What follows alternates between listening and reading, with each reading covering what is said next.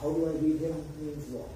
How do you understand his uh, potency for? I think he, he very cleverly uh, used uh, technology uh, to give himself a larger than life uh, aura and appearance. As an active militant, I will confess that he was much less trouble for me uh, than he has been as a dead militant for Mehbooba Mufti. Uh, I, I, I, don't recall a single briefing that I would have received from any of my intelligence people uh, that would have flagged Burhan Wani as a major threat to peace uh, in Jammu and Kashmir.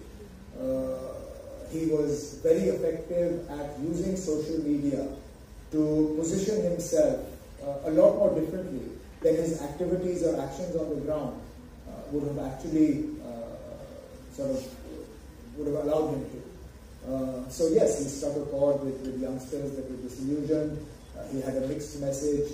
Uh, he was different from other militants in as much as their, their appeal was purely political. It was about Azadi and, and uh, a different political structure for Jammu and Kashmir. He mixed the Azadi with, with, the, with the Islamic messages, but I, I honestly don't believe he was as much of a as he was made out to be.